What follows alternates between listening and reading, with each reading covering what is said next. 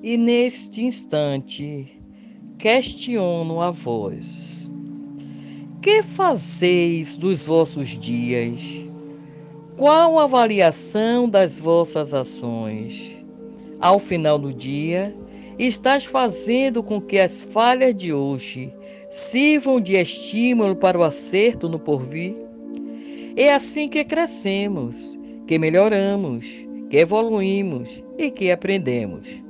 Se corrigirdes as vossas falhas, elas não serão motivo da vossa queda, pois se pensais em suportar a vossa jornada, Deus estará sempre convosco.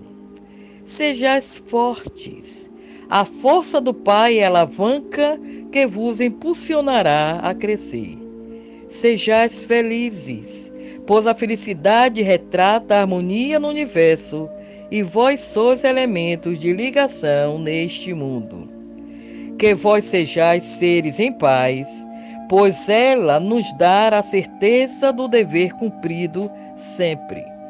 Que vós sejais seres que amam, pois o Pai deposita em nós sempre a essência divina, que é o amor.